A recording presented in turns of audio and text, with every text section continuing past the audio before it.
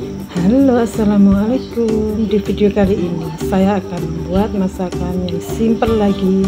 Kuah kepiting apa ya namanya ini? Nanti lihat saja bumbunya. Apa pun namanya yang penting nikmat.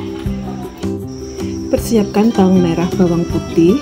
Bumbunya sudah saya tulis dan ini saya masukkan bumbu opor dan soto. Jadi ini jatuhnya seperti lode ya karena saya males untuk buat bumbu ya masak itu yang simpel-simpel namun enak. Dan ini saya tambahkan minyak sedikit saja satu sendok makan karena bumbu jadinya sudah ada minyaknya. Dan ini tahunya sudah saya kukus saya buang airnya. Dan juga ini tambahkan lengkuas yang sudah dikeprek kurang lebih sejempol. Kepiting ini sudah saya cuci bersih saya beli frozen sejumlah 1 kilo. Bersih ya daging saja dan untuk bumbunya setelah harum masukkan air. Airnya 2 liter atau dikira-kira. Nah ini sudah selesai saya rebus. Masukkan juga tahu dan kepitingnya tadi setelah air ya. Dan tunggu sampai dia mendidih.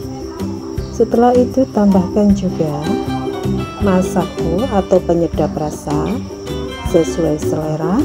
Saya tambahkan 2 sendok dan di sini tambahkan juga santan kara satu bungkus. Ini bisa dikira-kira santannya.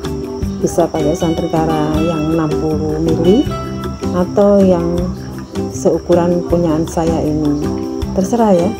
Dan juga tunggu sampai dia mendidih.